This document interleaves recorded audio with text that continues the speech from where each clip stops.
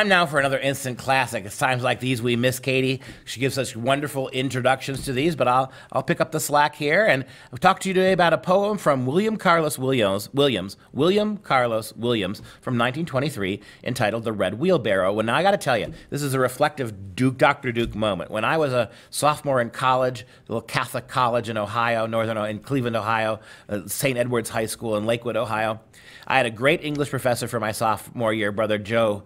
Uh, Brother Joe was a really stickler. People were just afraid of him. He's about four foot ten inches tall, but he really worked us hard. He had us reading all sorts of books. I read about 150 books that some, that year alone in his class outside of the coursework we were doing. That included things like grammar and sentence structure.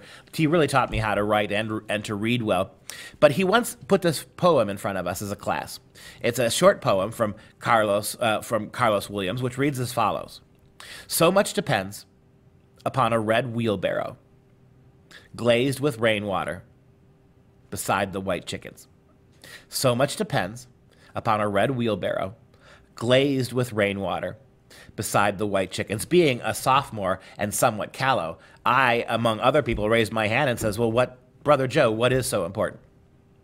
Brother, what is so important about the red wheelbarrow glazed with rain beside the white chickens? He just smiled, never told us. And that was the first I learned about the enigmatic, right? The idea that not everything has to have an answer. I still don't know. I mean, I'm an English professor. I teach liter- I teach complicated poetry all the time. I understand. I can appreciate the poem for its syntax and its playing with norms of capitalization. It's not a unpleasant little poem to read, but I'm not sure anybody still knows what so much depends upon a red wheelbarrow glazed with rainwater beside the white chickens. If there's any biographical help, we do know we have uh, this this note from Williams himself about the poem. And uh, William Carlos Williams wrote, quote, The red wheelbarrow sprang from my affection for an old Negro named Marshall. He had been a fisherman, caught porgies off Gloucester. He used to tell me how he had to work in the cold freezing weather, standing ankle deep in cracked ice packing down the fish.